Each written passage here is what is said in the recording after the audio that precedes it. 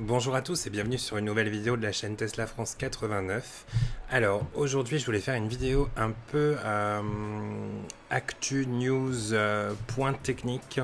Euh, voilà en fait c'est des questions que j'ai beaucoup par mail ou, ou, directement dans la section des commentaires sur YouTube. Donc si vous voulez d'ailleurs me contacter, il y a toutes les infos en barre de description et puis il y a aussi la, section commentaires en dessous qui est sympa parce que je peux vous répondre. Et puis les autres personnes aussi qui sont abonnées à la chaîne peuvent vous répondre aussi directement euh, s'ils ont l'information.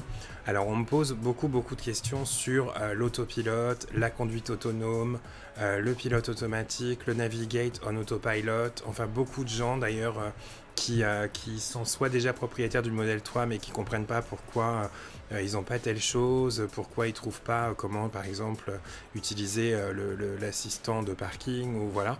Ou alors j'ai des personnes qui en fait ont l'intention peut-être d'acheter une Tesla et qui savent pas s'il faut prendre l'option tout de suite euh, de conduite autonome, qui est de temps en temps appelée d'ailleurs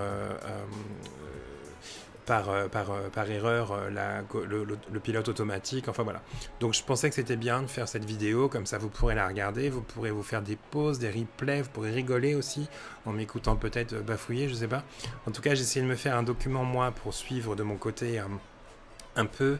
Et puis c'est vrai que bon, le fait de conduire la voiture depuis plusieurs mois et puis de me documenter pas mal sur le sujet, du coup je pense que je vois à peu près de quoi on parle. Donc c'est parti, à tout de suite.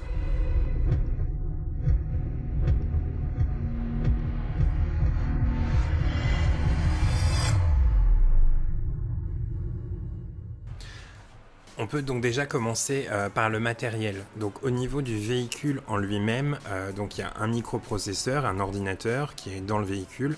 Alors il y a deux versions, apparemment il y a la version 2.5 ou la version 3. Euh, Elon Musk sur Twitter était intervenu en disant que si vous n'aviez pas le matériel version 3, euh, visiblement depuis avril, hein, toutes les modèles 3 qui ont été livrés depuis avril euh, sont, équipés du bon, hardware, du bon matériel. Euh, donc au, niveau de, cet élément-là, si vous n'aviez pas le bon, ce serait changé en fait gratuitement par Tesla parce qu'ils ont upgradé, mis à jour le matos au niveau informatique dans la voiture pour avoir plus de rapidité de calcul, plus de, de réactivité de la voiture justement pour aller vers la conduite autonome. Donc là qui est vraiment le Full Self Drive, FSD, vous allez voir. Ou alors, euh, de temps en temps, on parle aussi de conduite autonome. Donc là, vous montez dans la voiture, ou même la voiture, elle part toute seule faire taxi, elle revient, enfin voilà. Donc en tout cas, c'est cette notion-là euh, de matériel euh, qui, est un peu, qui est un peu touchy, parce qu'effectivement, il y a quelques véhicules qui ont été livrés, dont je pense le nôtre, début mars par exemple, qui n'ont pas en fait la bonne puce à l'intérieur pour, pour du coup permettre après cette conduite autonome. En tout cas, euh, tout le reste, au niveau des caméras, radars, sonar, tout ce qui est présent au niveau capteur, au niveau de la voiture, pour, euh, permettre toutes ces options de pilote automatique ou de conduite complètement autonome, visiblement, les voitures sont prêtes, même si vous ne prenez pas l'option euh, au moment de l'achat. De toute façon, c'est que du logiciel derrière, une petite mise à jour. Si vous l'achetez par la suite, il n'y a pas de souci. Au niveau du matériel, vous n'allez pas devoir retourner votre véhicule au service center pour qu'il soit démonté, pour que du coup voilà, donc euh, vraiment elles sont prêtes les voitures. Euh, au niveau des modèles 3, euh, pas de souci. Alors maintenant on va mettre les mains dans le cambouis, donc ce qui est tout en fait un peu ce, qui, ce, que, Tesla nous, nous vend et nous vante sur son site internet. Donc déjà on va dire qu'aujourd'hui on est le 9 août et que c'est la version du 9 août. Parce que moi à l'époque où j'ai acheté ma voiture, tout était en option et maintenant il y a une partie qui est en série. Donc aujourd'hui, on nous dit que le pilote automatique est de série. Donc le pilote automatique, en fait, c'est la voiture qui va donc tenir une trajectoire. Donc qui va, par exemple, vous êtes sur l'autoroute, sur la file de droite, vous enclenchez le pilote automatique, la voiture, elle va se caler par rapport aux lignes qu'il y a au sol, par rapport à ce qu'elle voit, et du coup, elle va suivre la route. Vous n'avez pas besoin de tourner le volant, la voiture, elle tourne toute seule le volant.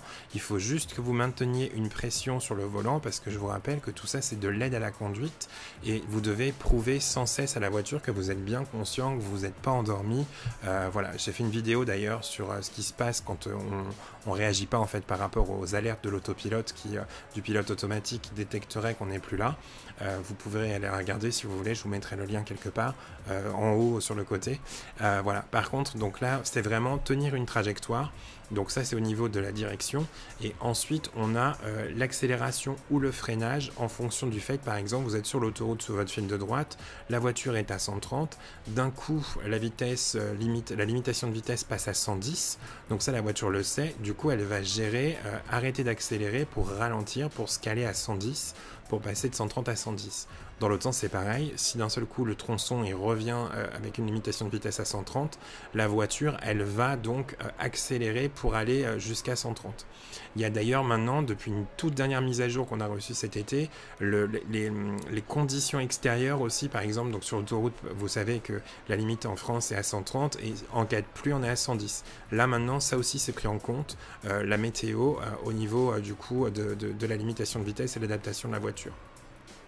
Autre chose aussi, si vous avez un véhicule devant vous euh, qui roule pas assez vite pour vous, euh, là la voiture en fait bah, roule pas roule en dessous de la vitesse, donc par exemple à 120 km/h, votre voiture elle va se caler euh, au niveau de la vitesse de la voiture de devant, on va pas lui rentrer dedans, elle va pas continuer à essayer de rouler à 130 km/h s'il y a un obstacle devant elle, donc soit un véhicule ou par exemple, je sais pas, quelqu'un qui traverse d'un seul coup ou, un obstacle sur la route, elle va même aller jusqu'à s'arrêter s'il faut. Euh, vous êtes par exemple, ça c'est super pratique, si vous êtes dans les bouchons en région parisienne ou, autour d'une grande ville, enfin parce que je dis région parisienne, mais il y a des bouchons un peu partout, mais admettons que vous soyez dans un bouchon, vous êtes en pilote automatique, votre voiture, elle va s'arrêter, elle va repartir quand le trafic repart, elle va s'arrêter à nouveau, elle va ralentir. C'est extrêmement reposant, c'est très sympa et franchement, pour l'avoir testé pas mal de reprises, c'est très très fiable. Alors encore une fois, il faut rester euh, vigilant et un coup de frein, un coup d'accélérateur, vous désactivez le système et il n'y a pas de souci, vous reprenez le contrôle.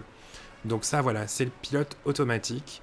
Euh, moi, deux choses que je trouve un peu... Euh, un peu dommage en fait, c'est que il faut donc ajuster la vitesse euh, soi-même du véhicule. Parce que quand on a un changement de vitesse, par exemple, comme je vous disais tout à l'heure, vous êtes sur un autoroute, c'est limité à 130, d'un coup ça passe à 110. En fait, c'est au panneau que la voiture elle va commencer, du coup, une fois qu'elle aura réalisé que c'est 110, à ralentir. Alors du coup, vous arrivez au panneau à 130, vous êtes en excès de vitesse. Normalement, on doit être à 110 au panneau.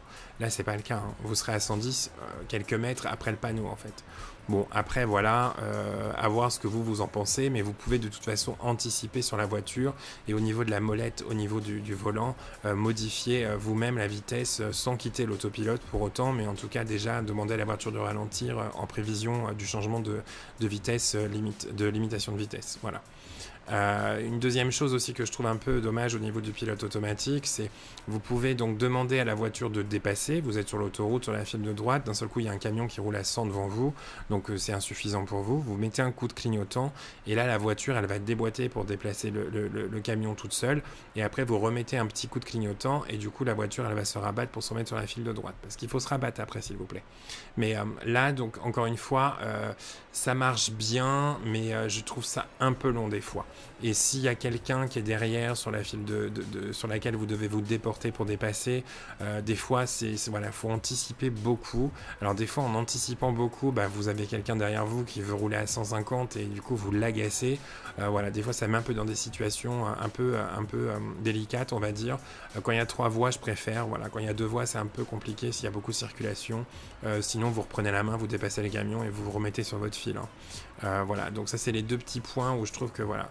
Donc ça c'est vraiment dans ce qu'on appelle le pilote automatique. Ça ne comprend que ça.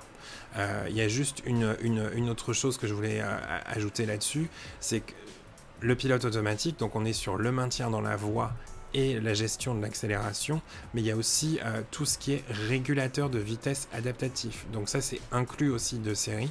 Donc vous voulez conduire, vous gardez le contrôle du volant. Par contre, en enclenchant le régulateur de vitesse adaptatif, il y a uniquement la vitesse du véhicule qui est contrôlée en fait par la voiture.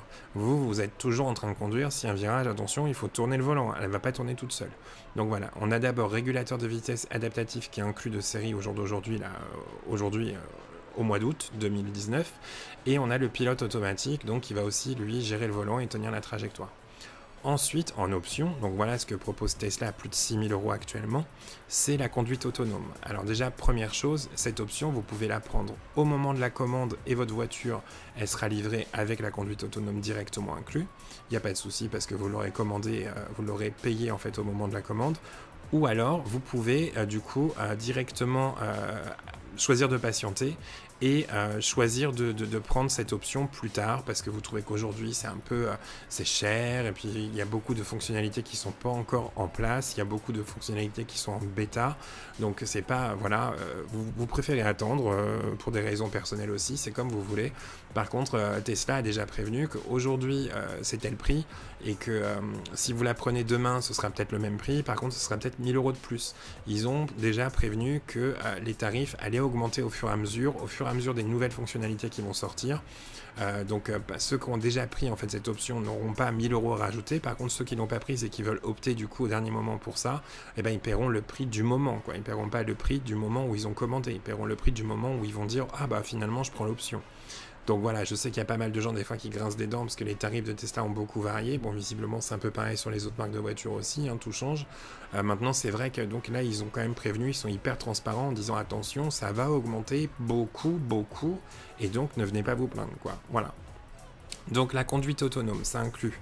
Donc là, on parle aujourd'hui, hein, ça c'est déjà disponible, d'automatisation de la voie d'insertion jusqu'à la voie de sortie, jusqu'à la sortie de l'autoroute donc y compris les changements d'autoroute, et puis pour dépasser les véhicules plus lents. Alors ça, attention, dépasser les véhicules plus lents, c'est pas vrai en France. La voiture, elle va suggérer de dépasser s'il y a quelqu'un qui est trop lent devant vous, mais vous devrez quand même confirmer avec un coup de clignotant. La voiture, elle va pas déboîter toute seule et se rabattre. Il y a d'autres pays, visiblement, c'est déjà actif. Nous, c'est pas encore le cas. Parce qu'encore une fois, attention, la réglementation du pays ou bah, de l'Europe euh, va en fait euh, contraindre plus ou moins euh, les, les, fonctionnalités. Donc en France, aujourd'hui, on peut uniquement donc enclencher l'autopilote en navigation sur autopilote. Donc là, vous n'avez pas ça si vous n'avez pas pris l'option conduite autonome. Et là, on va voir effectivement euh, euh, le changement de, par exemple, moi j'ai la 5 et la 19 pas loin de chez moi.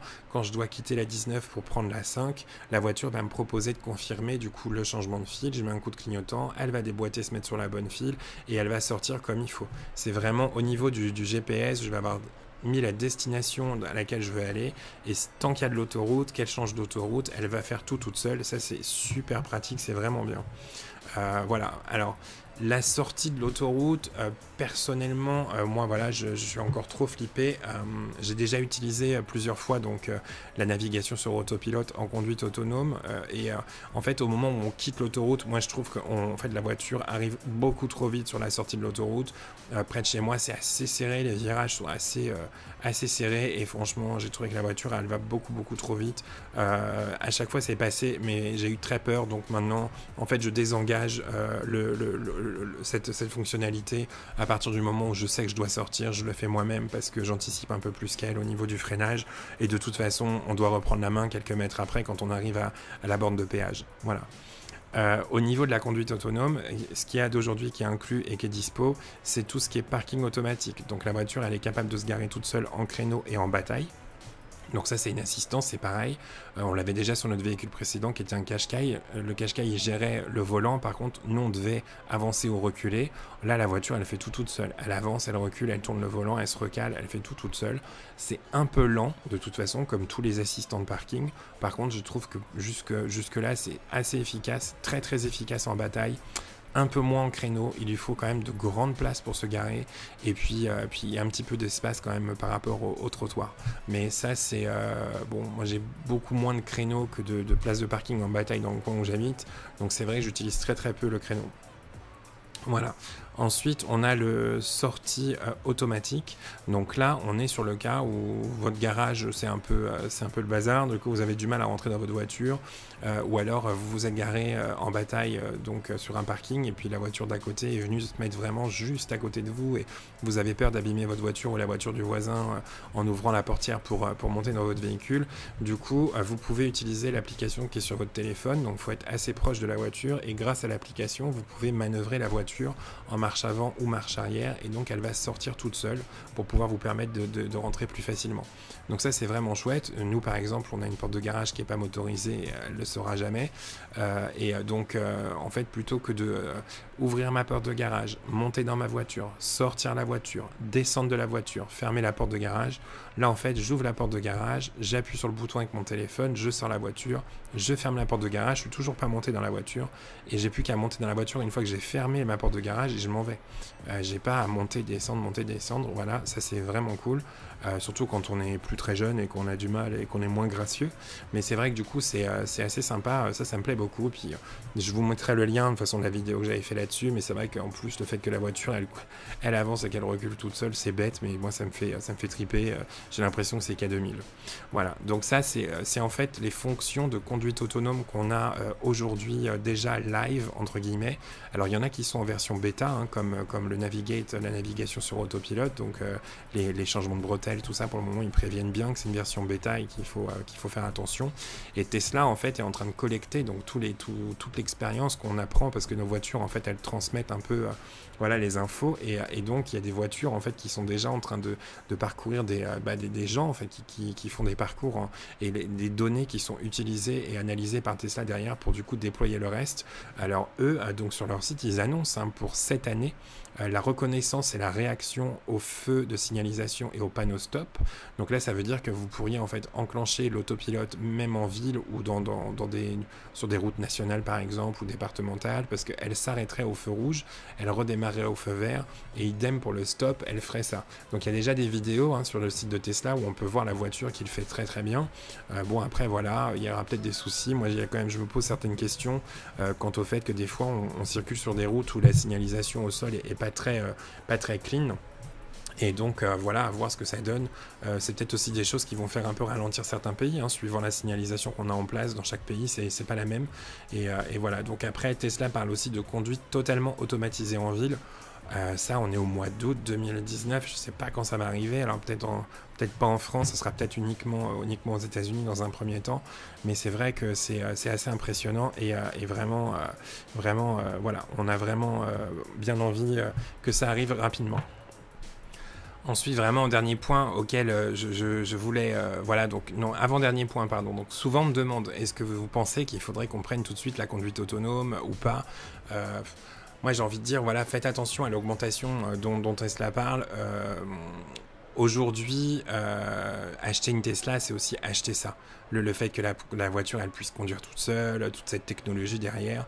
Euh, maintenant, si vous avez un budget assez serré, euh, moi je vous dirais, bah voilà, prenez pas une, batterie euh, moyenne.